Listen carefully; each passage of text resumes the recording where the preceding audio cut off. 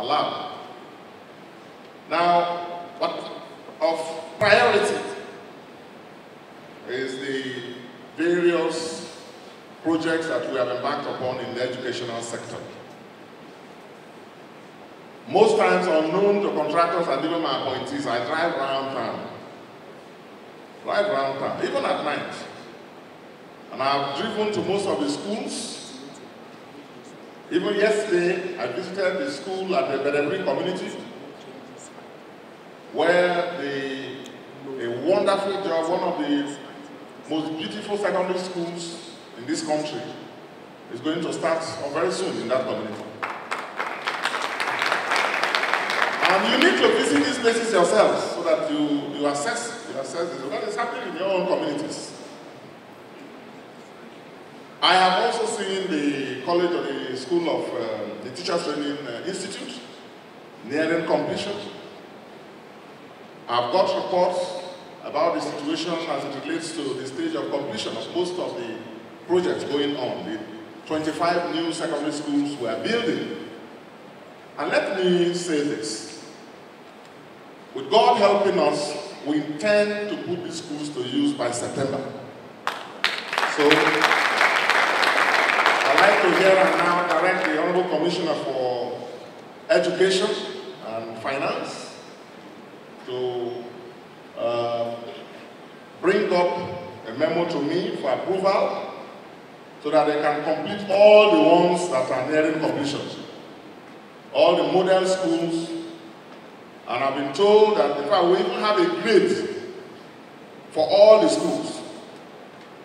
I want to commend the contractors who worked on the modern secondary school at Ikirimon. Wherever you are, clap for yourselves. The stakeholders who handled those jobs, the contractors did very well. Even with the amount of money paid, we have almost all of them are finished, with the exception of just one or two or so.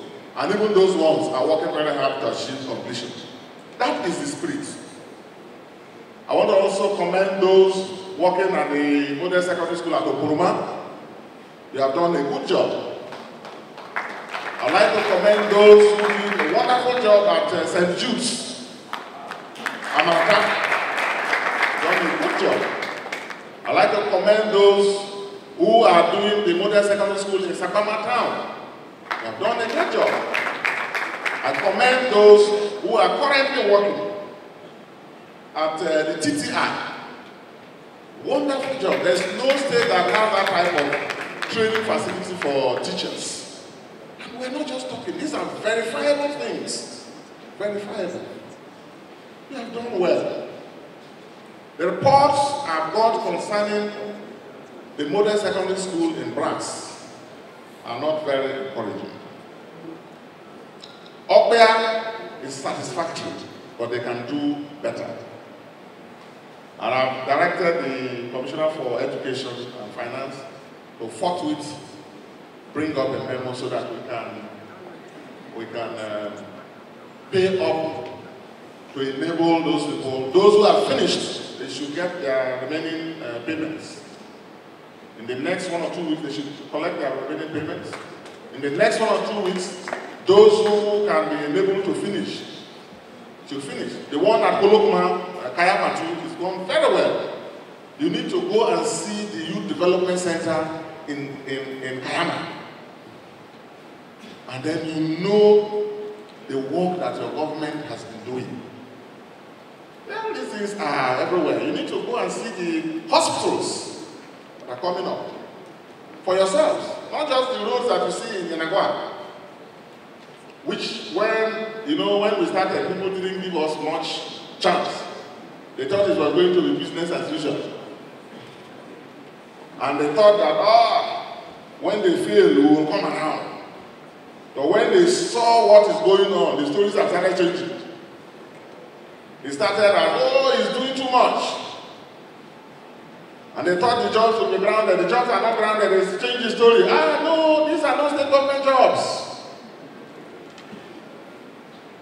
And now the jobs now, they said, oh, Brecha now down, downscale their workforce, because you see, when these are, these are private people, when they are digging the ground And when they are just doing the finishing, it's not the same number of staff that they need.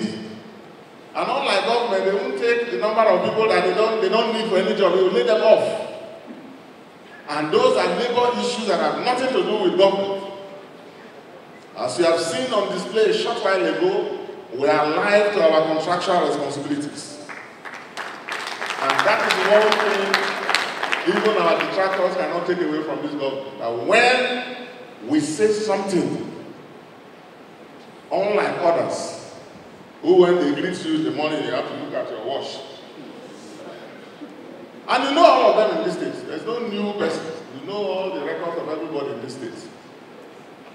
So, our contractual obligations are being met, as you saw a short while ago. So, education contractors, round up your, your, your contracts. There's money available.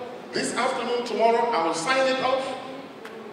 And you'll get your money paid by next week or so. And go to your site, hurry up, and finish up. I've already directed the Commissioner for Education and his team to even go to the next stage of preparing quantities for the furnishing and equipment of those schools. Because these are boarding schools. These are boarding schools. We want to go back to those old days of good old boarding schools. So, by September, by September, with what I've seen, I know that it's realizing most of these jobs are finished. You can go and see, drive to America and see what our contractors have done there. Quality job. So, by September, we want a situation where, through a competitive process, we select the best girls, the best boys in every constituency first to fill the because we don't it, it has to be according to the capacity for now and then we keep expanding until we achieve our target which is that secondary senior secondary education must be by boarding education and they will be fed free and maintained by the government of the states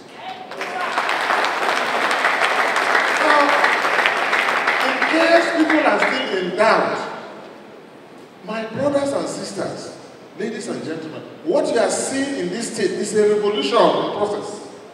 It's a massive revolution going on silently. You can imagine how, when these places are there and we select our boys and girls in these 26 model secondary schools plus 8 uh, 26 uh, constituency boarding schools plus 8 model schools. You can imagine when we will incubate them for three, three years and send our teachers who will all be going around talking to them, mentoring them. Because you can't do all of this mentoring if they are not in the same place. So with these boarding schools, I will soon announce the composition of the governing boards for each of them. Because the management of these schools, in terms of discipline, in terms of prudent management of the resources that will be allocated to those schools, because they will be fed free. I don't want to leave it to the Ministry of Education staff alone. I want the collaboration of the traditional rulers. I will call in aid the security chiefs in those areas and other stakeholders, the community leaders, to participate in the running of those schools. Because for me, if we get this aspect right, all this situation where Bayelsa is the headquarters of human mongering and so on will change. Because we will produce citizens who will understand what their leaders are doing. Citizens who, above all, will have the courage and the right information with which to question the activities and actions of their leaders. Crucial meeting holding today for a comprehensive review of the education subsector in our state. And let me use this opportunity, my dear brothers and sisters, to welcome you to this uh, interactive session. As you all know, education occupies a central place in the policy trust of our government. If there's anything we would like to be known for, if there's anything, if there's any area we would like to make an impact, it's in the field of education. Because that is where our future lies. we have started a lot of uh, reforms in this area, as you all know, and uh, that is an ongoing uh, process. As you all know, we have a very ambitious program of turning around the educational infrastructure, of reorganizing the processes and procedures, and even the policies in this sector. And you are the instruments by which these laudable objectives of our government will be realized. We have come to a critical point where certain decisions taken, certain decisions need to be made known and properly communicated so that we can all begin to do things differently and adjust. Let me use this opportunity to thank and commend our hard-working teachers, headmasters and principals, and also education managers for their services, their sacrifices. Or when you see any successful person, you see lots of teachers behind that person. And we owe whatever we are um, to the hard work, commitment, and dedication of our teachers. So I'd like to use this opportunity to thank them immensely, and also to say that we are on vacation. We know that schools are on vacation, and this offers us an opportunity to put right a lot of things before the schools resume. As you all know, we are embarking on um, a robust, all-encompassing program of turning around even the physical infrastructure of our schools, beginning with the primary schools. Um, and as a result of the free education policy of government, we have made several investments, which I don't need to, to recount. You are all aware that even those who have left secondary school and who cannot get admission places are not left behind. Just last week, I announced the appointment of the provost, as the rector of the Bayelsa State College of Arts and Science. Uh, the doctor, are you here? Okay, please stand up for the doctor.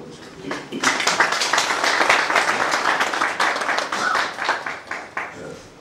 And um, there is also um, the registrar. Where is Conrad Newar? Is he here? Yes. Conrad Newar. Now, not this roaming the streets who desire a better and brighter life and future and have an opportunity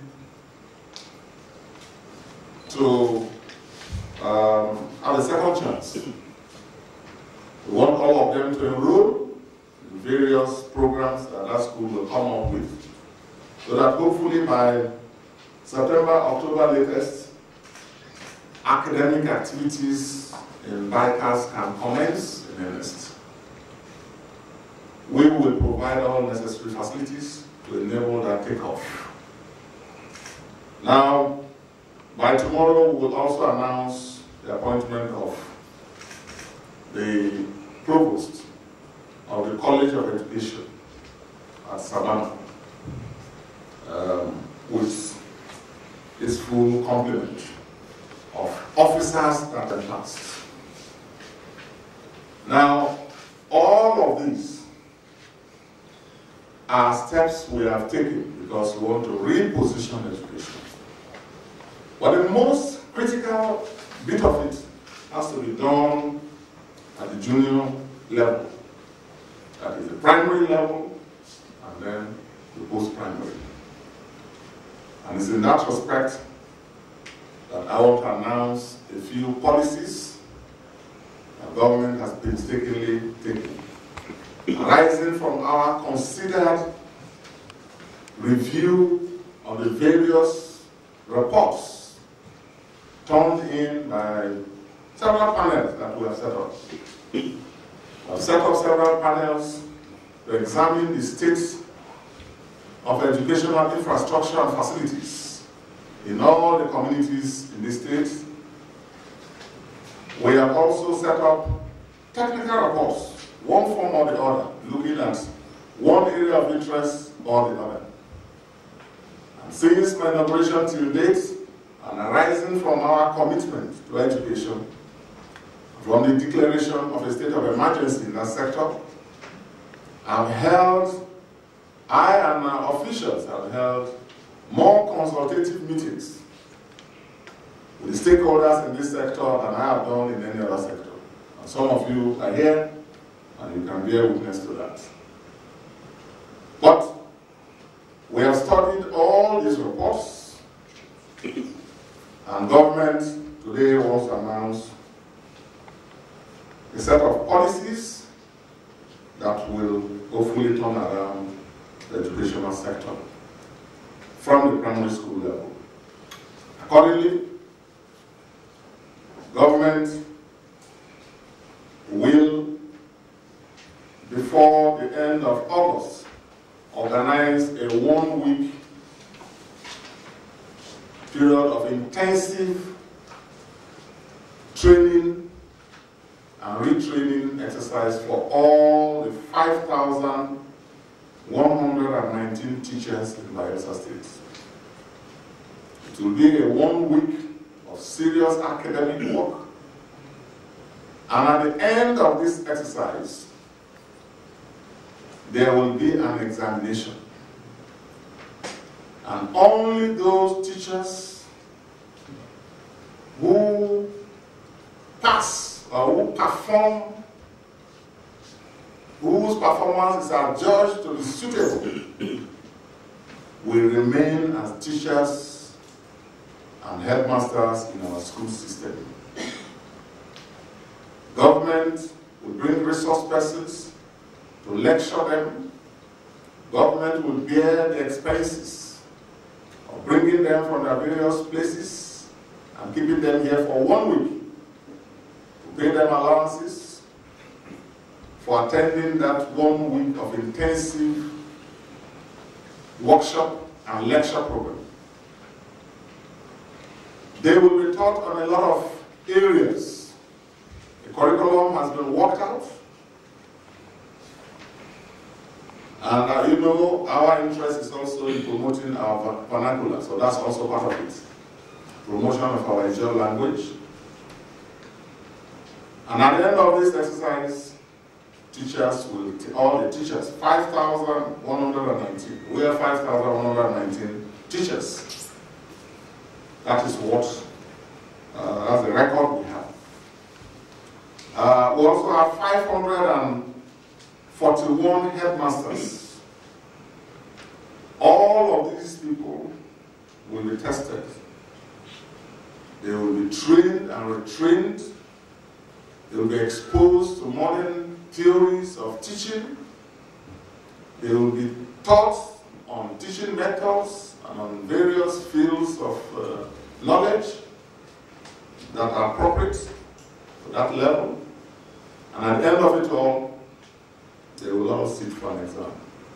As I said, when the schools will resume by September, we expect that only those whose performances are judged to be suitable will remain as teachers in our school system. And the reason is simple. Teachers are the most critical element in the educational system because they and they alone act, can act as facilitators between the pupil or the student and its environment. And so it's important that we have the right kind and quality of teachers to be able to get the right result from our pupils and students. And because of our emphasis on promoting science education promoting ICT literacy at all levels, I've also directed the Ministry of Education working in conjunction with the SUBEB and all other agencies to forthwith begin the recruitment of, I've been told, about 300 to 350 science and ICT teachers deployed to all the primary schools and all the secondary schools also of the state. I believe that that process will start in earnest so that the recruitment exercise can be conducted and all these people who are just coming into the teaching field can be exposed to the rudiments of teaching. And that is why by tomorrow we'll make appointments in the College of Education. We will also appoint somebody who will be the director of the Teachers Training Institute, Asabama, which is part of the College of Education, so that the training and retraining of the new people will be a continuing development. Now, we embark on a large-scale, massive rehabilitation of educational infrastructure. These are policies that pertain to teachers who, as I earlier identified, are the most important, the most critical elements of education. Ladies and gentlemen, these are the policies. But one more last thing, and that relates to the place of non-academic staff in our primary schools. From all the reports that I received, from all the findings of the various panels that I have constituted to look into this matter, it is very clear that the ratio of academic staff and non-academic staff in our primary schools is highly disturbing. We have on record 5,119 teachers. Ladies and gentlemen, as a result of various malpractices and errors of judgment and misplacements of priority over the years, as against this number of teachers, which is 5,119, you have a number of 4,287 non-academic staff working in various capacities or claiming to be working in various capacities. As security personnel, as cleaners, as clerks. Costing the state government a huge sum of money every month. Money that we feel can be better deployed. And so I have directed the right sizing, directed an immediate right sizing of the number of non-academic staff in our primary schools and also in our secondary schools. Our thinking is that there are a number of things that primary school pupils themselves and the communities, our communities, can also do. Yes, we feel that we'll provide some level of security in these schools, but we also feel that community leaders have a responsibility to protect government property, including school buildings and properties. As for cleaners, this state has to return to those days where students and pupils take primary responsibility for cleanliness of themselves and also of their school surroundings. Um, very soon, the Ministry of Education, working with the relevant agencies, will begin the right sizing effort so that we can free up some of this funds. And because chairmen are here, let me say this. Perhaps one of the states in this country where local government councils are incapable of fulfilling their statutory obligation to contribute up to 70% of the cost of running of the, of the primary schools. The normal situation is for chairmen of local governments and local government generally to be responsible for the running of primary education, at least up to 70%. And then the state government intervenes and supplements the about 30% contribution. But in this state, the reverse has been the case. As at our last count, the state government spends almost 80 something percent, it's something to 90 percent of the cost of running of the primary education, primary education in this state. That has to be reviewed. And therefore, let me remind the chairman who are here that uh, that situation is not acceptable. And going forward, the government will work with you to ensure that you yourself will take the necessary decisions and actions that will free up some of your funds, some of your resources to enable you meet this primary obligation that the laws and the policies of our system are placed on you. We are willing to support education remains a priority, but then we also want a situation where local governments also stand up to their responsibilities. Uh, we will call a more detailed meeting with the finance ministry to discuss the financials because we want you to perform your job, but we also want to work out uh, work out the system by which your system also does not collapse.